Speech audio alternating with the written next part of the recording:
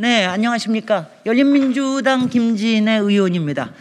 어, 서울시장 출마자로서 이 자리에 선 것이 아니라 국토위 위원으로서 그리고 우리 사회의 주택 정책 발전을 위해서 어, 제안을 드리고자 이 자리에 섰습니다. 어, 요점은 1가구 1주택 법안 논란에 대해서 민주당의 정책 토론을 제안하는 것입니다. 투기성 다주택자가 문제입니다. 민간 임대를 제공하는 비아파트 일반 다주택자까지 배관시하지 않아야 주거 안전성 확보가 가능합니다. 누구나 자가 점유와 임차를 넘나들며 사는 초이동 사회에서 일가구 일주택 보유가 지고지순한 최고선이 될 수는 없습니다. 이제 보도자, 보도자를 좀 자세히 설명드리겠습니다. 1가구 1주택을 명시한 주거기본법 개정안을 더불어민주당 진성준 의원이 발의한 이후 논란이 큽니다.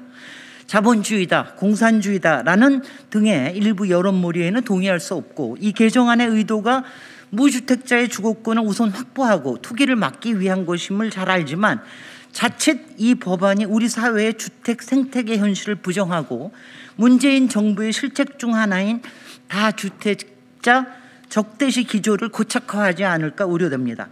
저는 문재인 정부의 다주택자 적대시 기조가 잘못된 현실 인식에서 비롯되었고 부작용만 불러왔음을 국회 상임이나 인터뷰를 통해서 여러 차례 지적한 바 있습니다.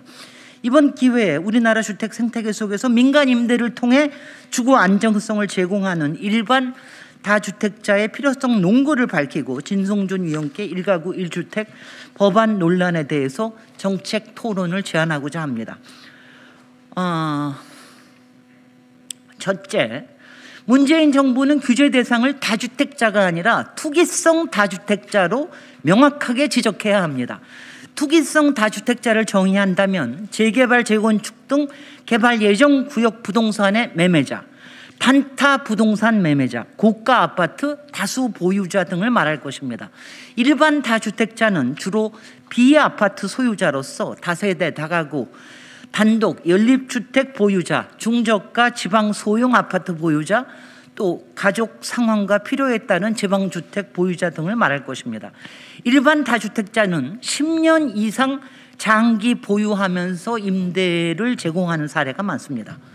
둘째, 투기성 다주택자에 대해서는 보유세와 거래세 강화 등으로 억제하고 시세 차익을 환수해야 하며 부동산 관련 정책을 수립하는 부서의 고위 공직자 진입도 통제하는 조치가 필요합니다. 그러나 민간 임대주택을 공급하는 일반 다주택자의 역할을 배관시할 필요는 없으며 오히려 주거 안정성 확보를 위한 정책적 지원이 필요합니다.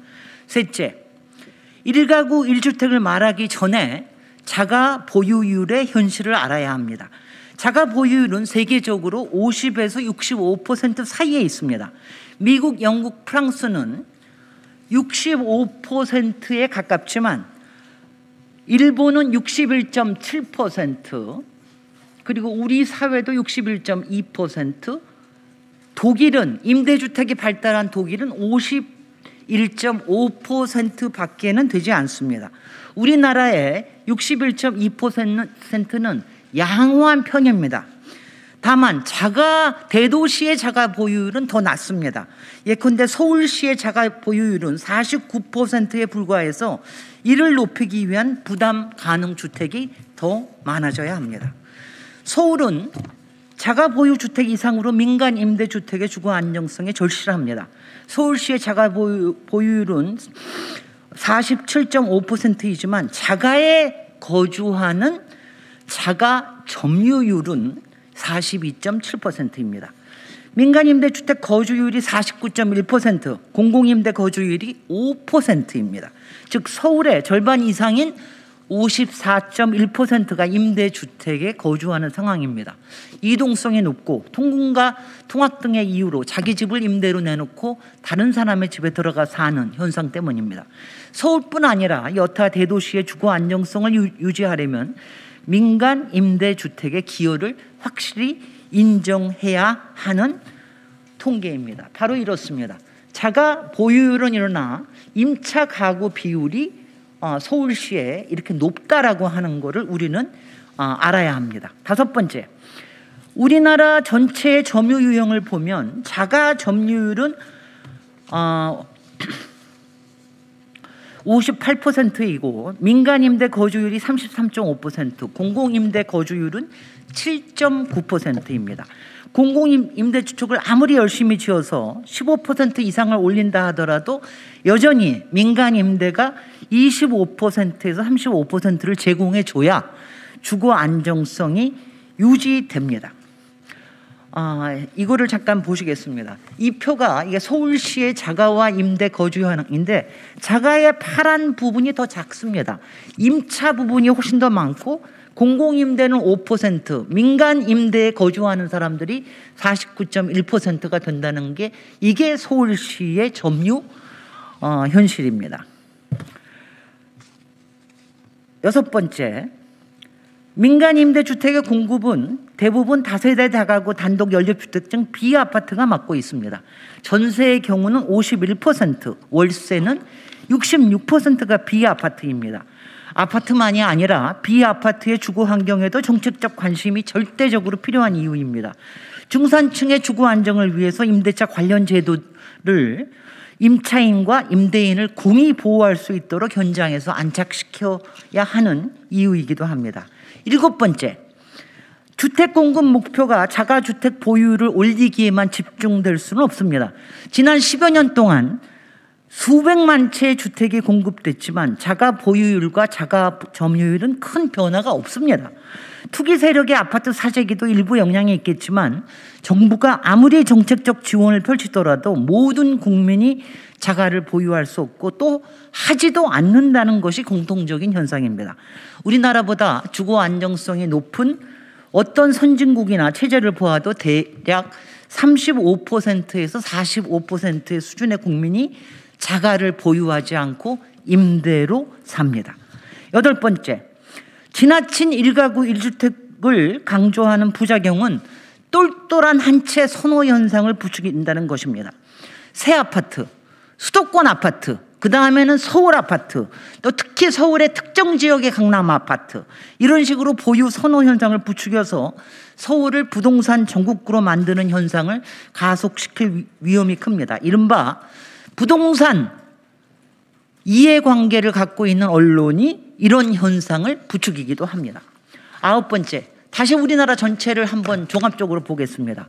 우리나라 2,100만 가구 중 전국은 42%, 서울은 57% 가구가 임대로 거주 중입니다. 공공임대를 제외한 약 700만 가구가 민간임대 거주 중이고 전세는 51%, 월세는 66%가 아파트가 아닌 그리고 투기와 관련 없는 다세대 다가구 주택 등의 비아파트입니다. 이러한 민간 임대주택을 공급하는 일반 다주택자가 필요하다는 점은 불변의 법칙입니다.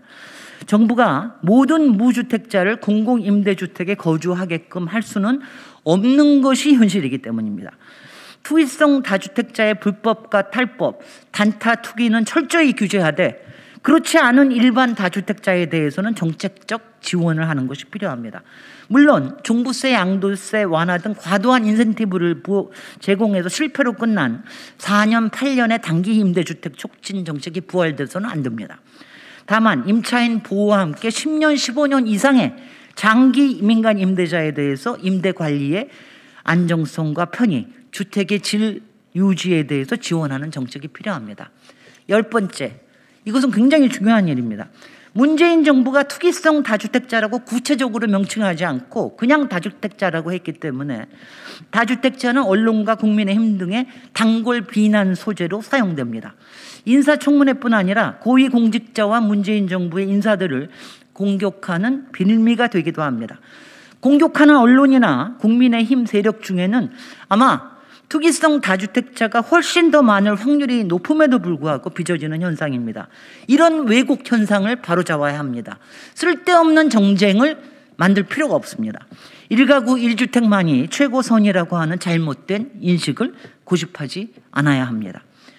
1가구 1주택 법안을 발의한 진성준 위원과 그리고 민주당과 심도 깊은 토론이 성사되기를 기대합니다. 누가 맞고 틀리느냐를 논의하자는 것이 아닙니다.